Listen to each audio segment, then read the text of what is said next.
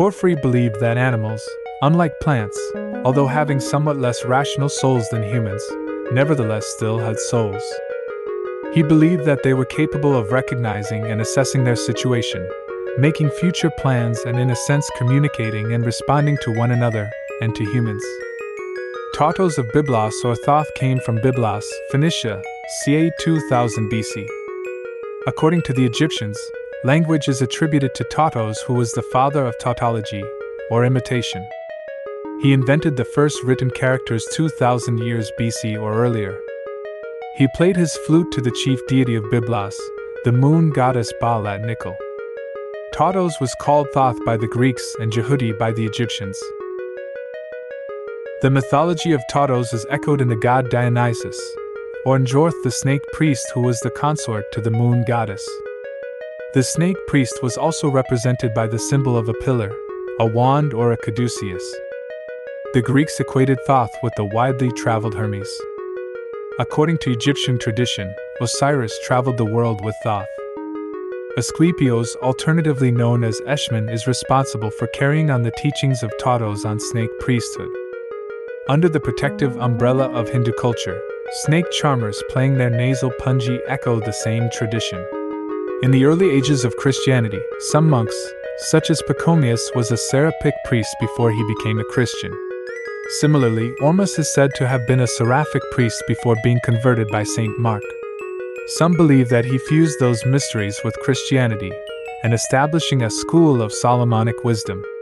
It is reported then that Phoenicians and Egyptians were the first of all mankind to declare the sun and moon and stars to be gods, and to be the sole causes of both the generation and decay of the universe, and that they afterwards introduced into common life the deifications and theogonies which are matters of general notoriety. Before these, it is said, no one made any progress in the knowledge of the celestial phenomena, except the few men mentioned among the Hebrews, who with clearest mental eyes looked beyond all the visible world, and worshipped the Maker and Creator of the universe, marveling much at the greatness of His wisdom and power, which they represented to themselves from His works, and being persuaded that He alone was God. They naturally spake only of Him as God, Son from Father successively receiving, and guarding this as the true, the first, and the only religion. The rest of mankind, however, having fallen away from this only true religion, and gazing in awe upon the luminaries of heaven with eyes of flesh, as mere children in mind, proclaimed them gods, and honored them with sacrifices and acts of worship, though as yet they built no temples, nor formed likenesses of mortal men with statues and carved images, but looked up to the clear sky and to heaven itself. And in their souls reached up unto the things they're seen. Not here, however, did polytheistic error stay its course for men of later generations, but driving on into an abyss of evils wrought even greater impiety than the denial of God, the Phoenicians and then the Egyptians being the first authors of the delusion. For from them, it is said, Orpheus, son of Oeagrus, first brought over with him the mysteries of the Egyptians, and imparted them to the Greeks.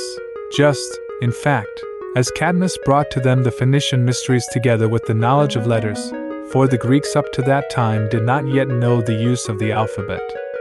First, therefore, let us inquire how those of whom we are speaking have judged concerning the first creation of the world. Then consider their opinions about the first and most ancient superstition found in human life. And thirdly, the opinions of the Phoenicians. Fourthly, those of the Egyptians. After which, fifthly, making a distinction in the opinions of the Greeks. We will first examine their ancient and more mythical delusion, and then their more serious and, as they say, more natural philosophy concerning the gods, and after this we will travel over the account of their admired oracles, after which we will also take a survey of the serious doctrines of the noble philosophy of the Greeks. So, when these have been thoroughly discussed, we will pass over to the doctrines of the Hebrews, meaning of the original and true Hebrews, and of those who afterwards received the name Jews.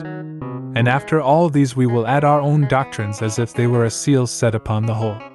The history of all these we must necessarily recall, that so by comparison of the doctrines which have been admired in each country the test of the truth may be exhibited, and it may become manifest to our readers from what opinions we have departed, and what that truth is which we have chosen.